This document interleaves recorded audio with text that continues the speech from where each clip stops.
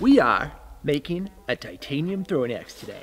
We're building this axe to the WATL specifications.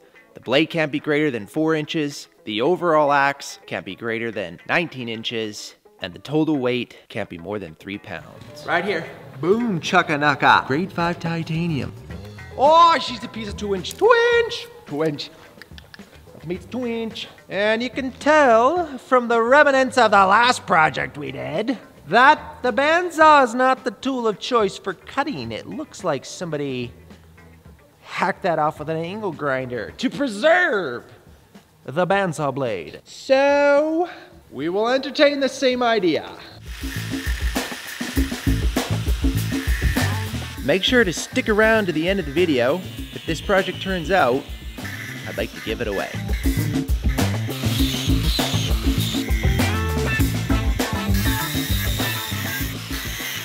So I've cut as far as I can with the zippy disc. I'm gonna cut the rest of it with a hacksaw blade. I don't know where my hacksaw is, but I found the blade, so good enough for us today, right? And you're like, no, you can't cut titanium with a hacksaw blade.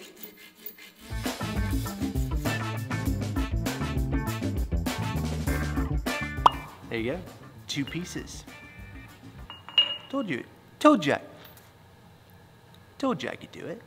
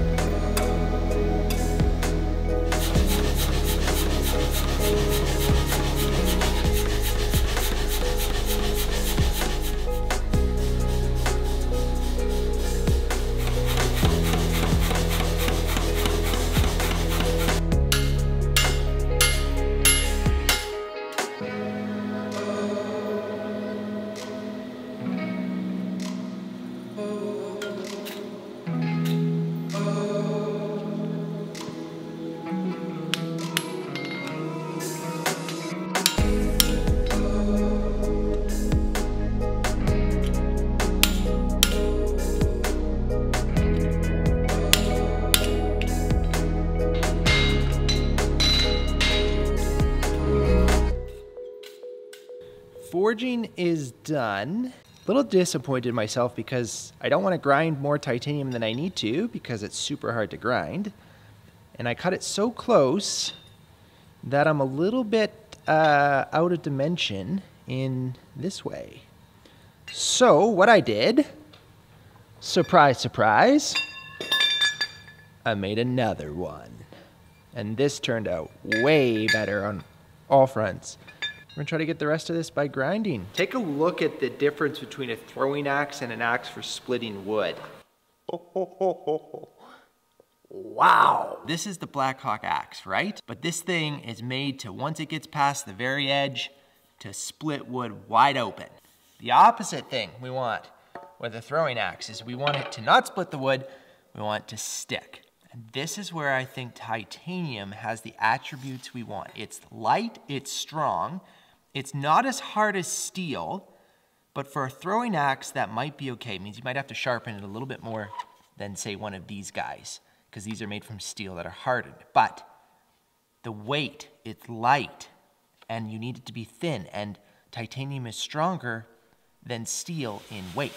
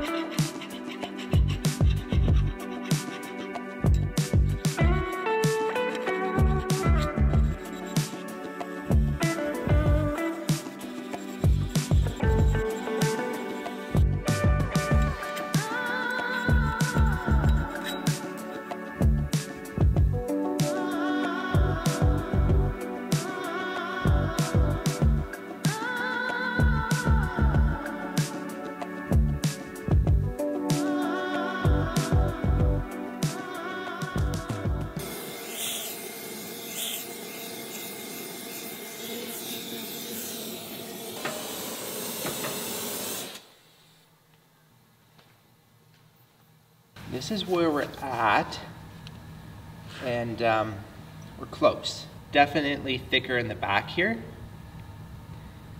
but I've tried to really get this blade as close as I could to the ace of spades in here. The eye's a little bit bigger too, but um, this dimension-wise, actually very close. Going from eye to eye, you can see I got more tail on the back and I got just a whisker hair more in the front. Let's throw it on the scale here.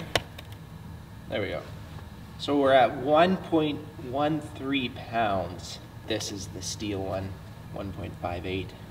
Bit cannot be greater than four inches. There you have it. You can see that it's 3.932 of an inch. So we're under four inches just by wee little bit, but hey, that's good enough for me.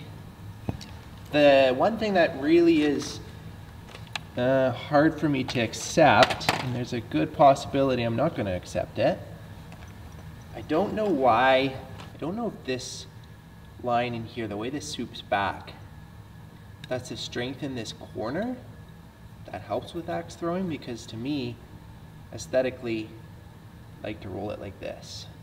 I'd really love to see how that would look. Looks so good because this top line curve's nice. So there you can see the finished grind profile.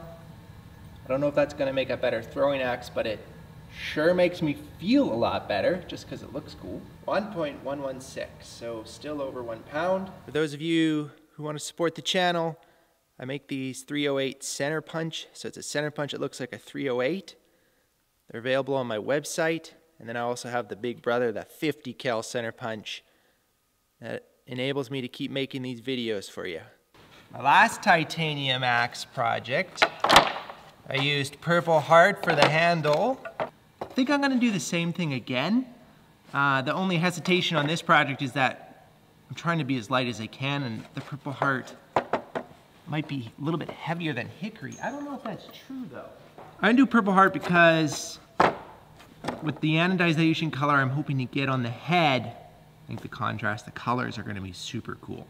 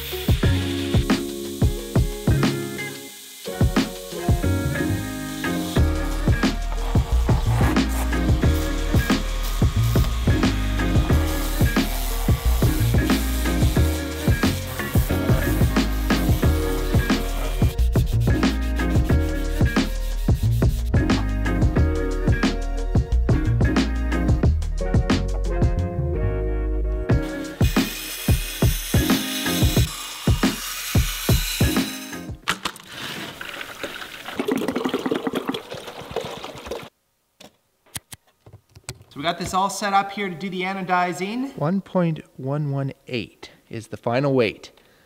So I've made up this hook here. This is what the axe is gonna be going through the process on. And this is a titanium rod. Degreaser, rinse. This is uh, an etchant to prep the titanium for the anodization. This is called multi-etch. It's in a rice cooker because it's good to have it hot. And this is where the anodization ha will happen. Instead of running around the neighborhood collecting all the car batteries, about a variable voltage power supply. We should be able to get any color in the anodizing spectrum, which I'm very excited about. And then a final rinse. Step one.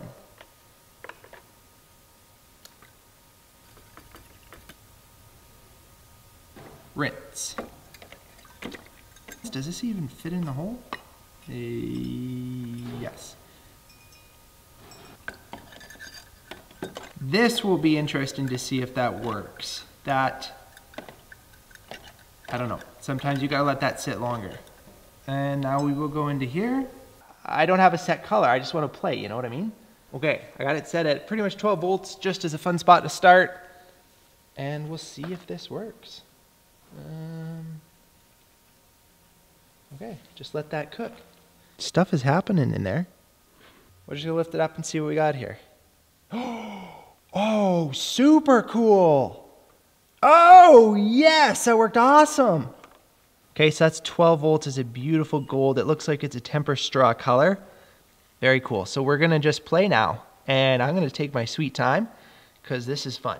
There at 15 volts, just a little bit more gold. Okay, let's see what 20 volts looks like. So it's like transitioning from that gold to the purple. That's 25 volts. Oh, wow. Ooh, that is crazy good purple. Wow, this is so cool. This is 35. Out of the purple with a tinge of it, but into the blue. Good enough to plateau. I can't wait. I gotta see what 51 volts looks like. It's like a really light blue, like a baby blue. So it's like a greeny, bluey, yellowy, not a desirable color there. All right, this is 63. It's like a yellowy green. It still didn't quite go all the way through. Now that is some crazy titanium. You can tell there's like a pocket in the middle there. It needs to, I guess, maybe sit longer to get that even color. Wow. Oh my goodness. So we're close to 70. Oh, I did it! Yes! Oh, guys, check that out. Okay, wait, I don't want to kill myself here. Oh, we've got that flame kind of shape. Look at that. Do we leave it or do we keep going, you know? Oh, shoot. Dang nabbit. That was me frying this thing because I touched the, uh, shouldn't be touching that one in there. That's a direct short. All right, so we're at 75 volts here. Wow, that blue is so cool on the bottom. Looks very good. This um, middle spot though, I don't know why. That's getting worse and worse. This is the problem though. This spot here, I, I don't know what that is from. I'm guessing it's just because I've been in the anodizing process for so long. Uh, it's on both sides and this side is worse. So what I'm gonna try to do, I think, is we are gonna re-etch this, clean it up. I'm gonna slam it in at 50 volts to try to get this gold color back here. And then I'm gonna try to ramp it up and then just do a manual feather. Wow, that worked. That worked. Whoa. That is some trick right there.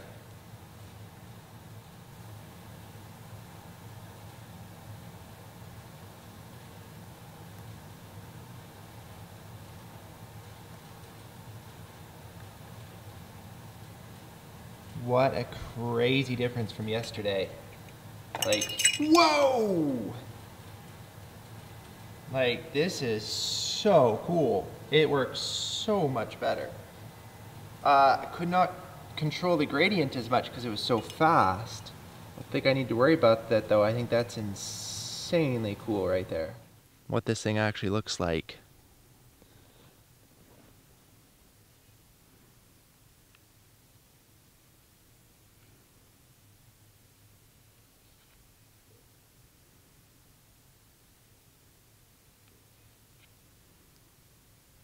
Oh man.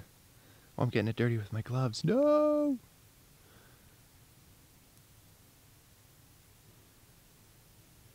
That's wild, man. That is wild. Wow.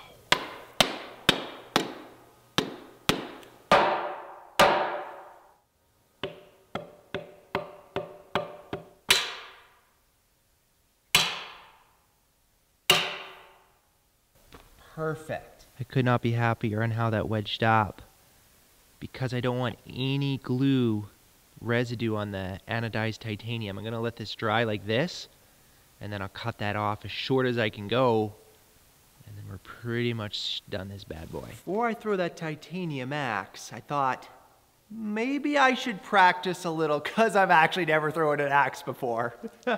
While we're doing that, I'm going to tell you about today's sponsor, which is Squarespace is the one-stop shop for all your website creating needs. If you need to build a website, think Squarespace. Okay. I got this.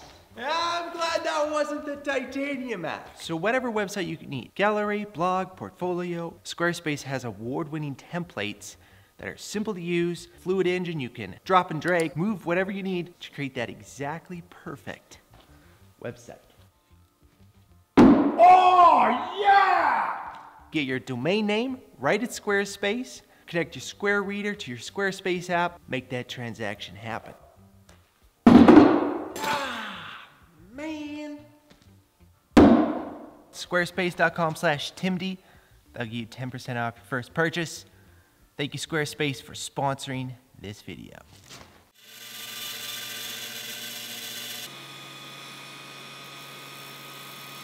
I do believe we have her beat here. I'm gonna take off this tape.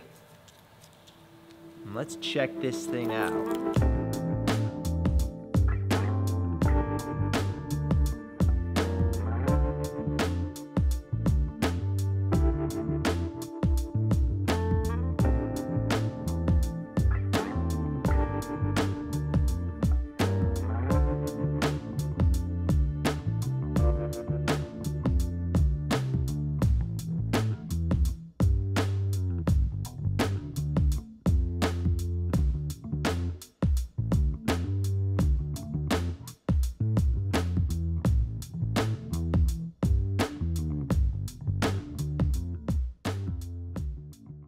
Doing the uh, final weigh in here. So this is the ace of spades, just the axe that I kind of modeled the titanium one off of. Just zeroing the scale. Put it to pounds here. All right, so that's zero pounds. Just using that little block of steel to support that. Okay, so this axe weighs 2.186 pounds. And now let's see what the final weight is with titanium. So it's 1.736 pounds with the handle and head and everything. So you can go up to three pounds, but we wanted to be as light as we can. That's where that's where she is. All right, I don't see how I can procrastinate on this anymore. We're gonna throw this thing. You've seen it, right? You've seen it. You've seen the close-ups. All right, we're gonna give this a shot. Now, just, okay, I gotta throw it. I gotta throw it. Put a lot of time into this, you know, it's hard. Guarantee this is not gonna stick. Yes! Oh! oh, it hit the ground! It did it hit the ground! Yes! yes! I got it. I threw it. That was actually awesome. Oh, she's a beauty. Yes, it did. Okay, I gotta do it again. Okay! Stuck! Yes! Oh, yeah! That's three for three! I don't care if I hit the bullseye. I haven't hit the concrete yet.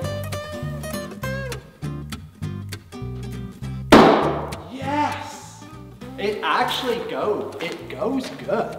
Not that I really know what I'm talking about.